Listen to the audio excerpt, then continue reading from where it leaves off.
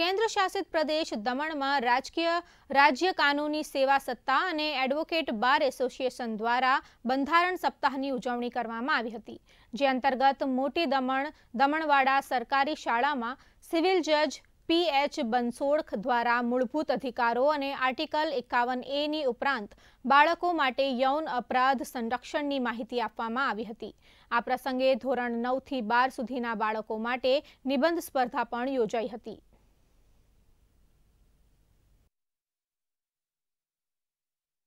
NALSA के direction से हम कॉन्स्टिट्यूशन वीक सेलिब्रेट कर रहे हैं, जो जो एक हफ़्ते का है, और ये एक हफ़्ते में हमने फंडा, जो